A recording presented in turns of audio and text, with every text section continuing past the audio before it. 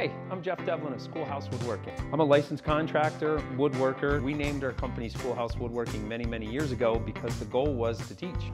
Wow, that's nice. It's not always the perfect method, but it's a way that I've learned over the 30 years doing this that I believe sometimes simpler is better.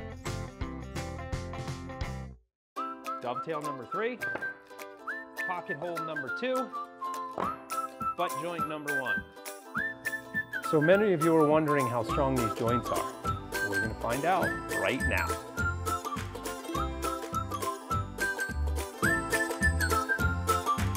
With a butt joint, you gotta sit, figure out, I gotta see if I can sit on it.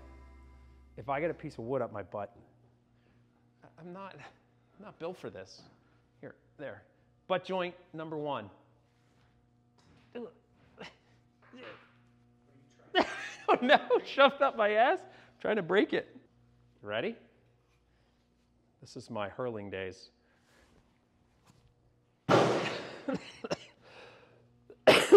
How'd it fare? Did you know that one was coming?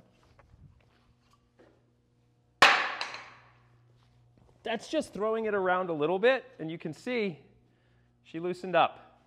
Now I can probably, oh, I'm so strong. You can rip it right apart. So keep that in mind when you're doing the joint. Pocket hole. That was my football thing, by the way. Where'd it go? Oh, here it is. See if I can actually stand on it this way.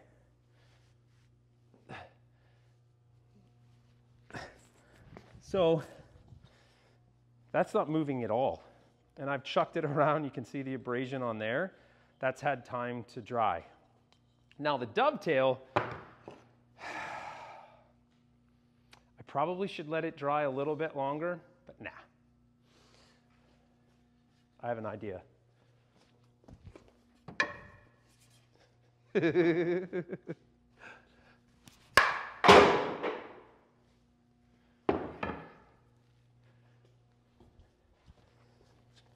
Oh, didn't fare so well if I can find the other side.